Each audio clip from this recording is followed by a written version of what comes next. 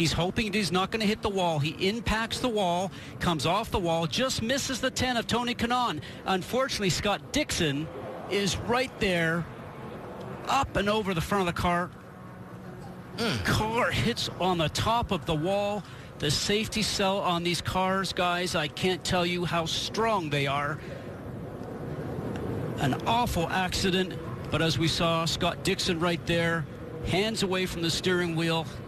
We saw him get out, and when we first went to this frame, when we first saw this accident, you heard some roar from the crowd, and that was because they knew that Scott Dixon was okay. And the